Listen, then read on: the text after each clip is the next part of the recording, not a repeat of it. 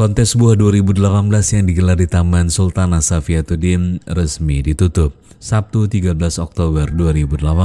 Sembilan daerah dari berbagai juara dalam lomba yang dibagi dalam tiga kategori itu dan untuk lomba kontes buah kategori buah unggul, juara pertama diraih oleh Kabupaten Aceh Tengah.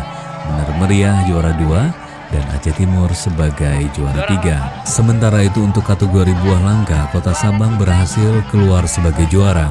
Selanjutnya juara dua adalah Aceh Tamiang dan Aceh Barat sebagai juara tiga. Untuk kontes buah kategori buah olahan dijuarai oleh Kabupaten Aceh Besar. Juara kedua adalah Kota Banda Aceh dan Aceh Selatan sebagai juara ketiga. Kontes buah tahun 2018 adalah salah satu rangkaian lomba yang digelar dalam Jambore Kader PKK Aceh. Lomba ini menjadi perlombaan yang paling meriah di mana seluruh daerah menampilkan produk buah khas dan juga terbaik. Jambore kader PKK Aceh yang dimulai sejak dua hari lalu ditutup langsung oleh Wakil Ketua Tim Penggerak PKK Aceh, Dia RT Dewati.